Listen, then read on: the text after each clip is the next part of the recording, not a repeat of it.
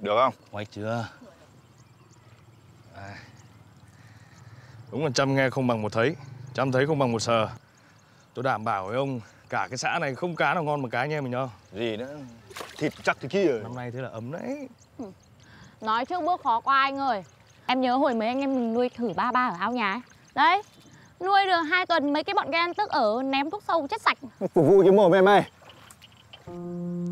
Gái chửa mồm thối đấy gái Em có nói thế Bây giờ càng tiến gần đến thắng lợi Thì càng phải cẩn trọng Đúng không?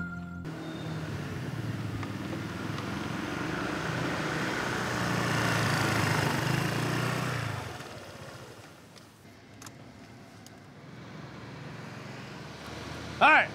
Ê! Đó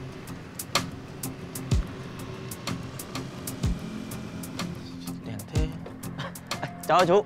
Mày vừa là bò cái gì đấy? à, Đâu cháu lọc bào gì đâu?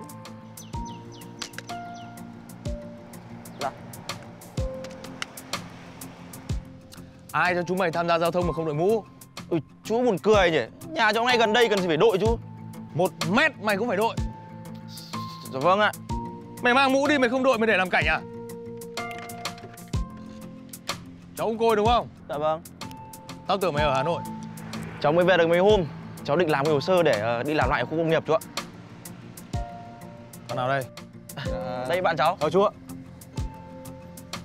Về đây khai báo tạm trú chưa? Cháu chưa. Cháu cũng đang định. Định! Mang căn cước không? Dạ có chưa? Dạ. Có cháu có đây rồi Đi vào làm luôn. Ơ nhưng mà chú ơi. Đi vào làm luôn rồi chúng mày Chú ơi định cái gì để định? Đi vào. Cháu chú ạ. Chào chú ạ Và lằng nhằng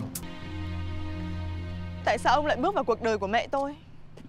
Để rồi bây giờ Ông trốn tránh trách nhiệm Con con biết hết mọi việc rồi à?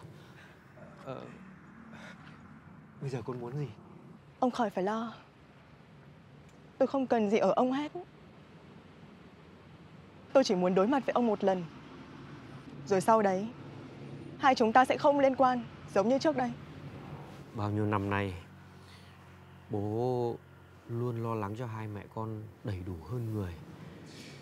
Bố chưa bao giờ có ý định từ bỏ hai mẹ con con. Nhưng mẹ con đòi hỏi nhiều quá. Ông đừng nói như thế Tôi chưa bao giờ